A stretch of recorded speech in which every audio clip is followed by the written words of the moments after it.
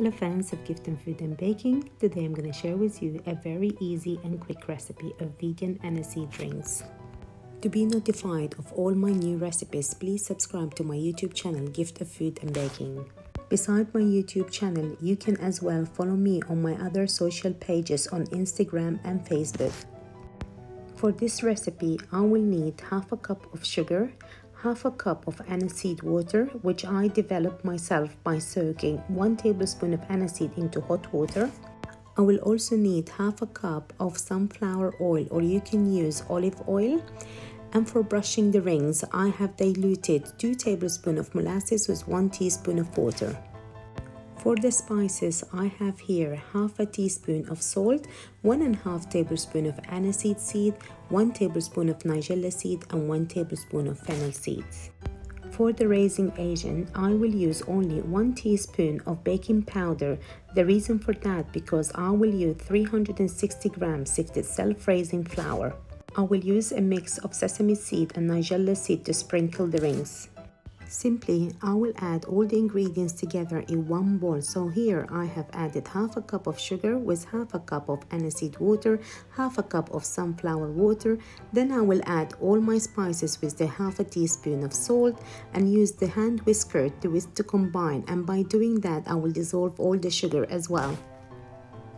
Once I feel that the sugar has dissolved into the liquid, I will start adding the flour. So here I poured all the flour but kept aside quarter cup of the flour and added one teaspoon of baking powder and started folding together.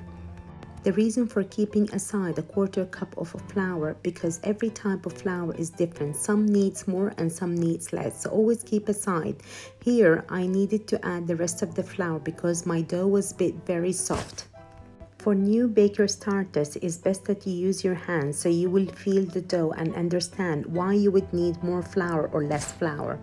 Once you finish mixing all the dough, it should be a soft dough, but let it rest for at least 10 minutes. I'm using here the measuring spoon, the tablespoon to get all accurate sizes. I will start by rolling the dough between my hands into a small ball, then into a flat surface with my two hands, then bring them together and seal from the top. Continue using the same method, rolling the dough into your hands as a small ball, then roll it into a flat surface, bring them together and seal from the top, and that's your rings now. This is very easy to make these rings, but if you don't like the shape of rings, you can do whatever shape you like. You can do the long stick as a breadstick or you can do any other shapes. Once you finish rolling all the rings, you can start brushing them with the molasses syrup and it doesn't only gives the golden color, but it gives a better taste and glues the sesame on top of them.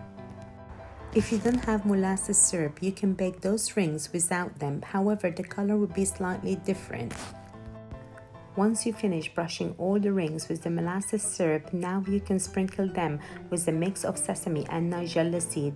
And if you don't like sesame seed or nigella seed, you can sprinkle them with whatever seeds you love.